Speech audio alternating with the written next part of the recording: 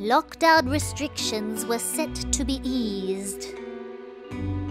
But it had taken all this time to fight my crushing anxiety around it happening in the first place.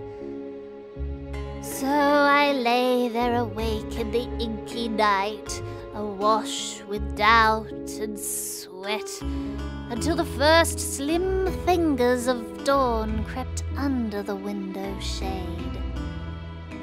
And it was understandable when that first pitched yowling of Yooditah couldn't be processed by the insomniac inhabiting my body.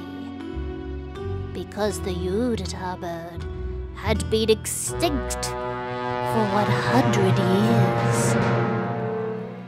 Yet when the second Yooditah cry sounded heavily against the thin glass of my window, I rose, if only to extinguish the madness from my mind. I pulled up the blind to reveal a softly feathered creature unseen for a century, with kind, pleading eyes. Stared at that goddamned bird forever and wished I was brave enough to invite it in.